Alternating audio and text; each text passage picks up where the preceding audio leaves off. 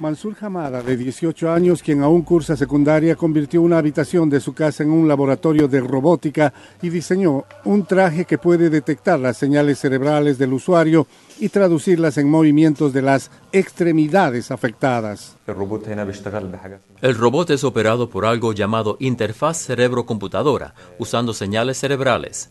Esto significa que pienso en el movimiento y el robot lo traduce en una acción y el robot fue diseñado en primer lugar para ayudar a las personas con discapacidades.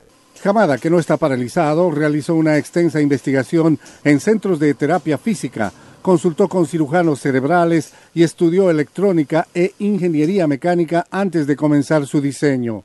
Él dice que fue evaluado por profesores de la Universidad de Sagazig, quienes pensaron que su invento no funcionaría. Cuando fui a la Universidad de Sagazid para presentar mi idea a los profesores, no creían que el robot funcionara con sensores cerebrales.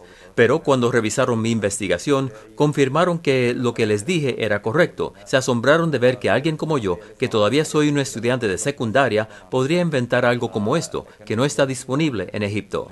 El exoesqueleto se probará en una persona discapacitada este mes. Hamada espera continuar mejorando el diseño e ingresar a la universidad para estudiar ingeniería.